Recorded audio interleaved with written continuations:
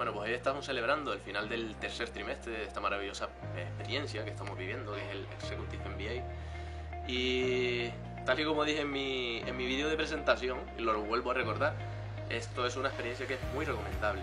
Estamos llegando al final, ya empezamos a ver la luz, ya vemos cada vez más cerca el día en el que vamos a tener que presentar nuestros business plans y con muchas ganas de que llegue ese momento para demostrar todo lo que hemos aprendido y todo lo que hemos experimentado durante estos mm, casi 11 meses.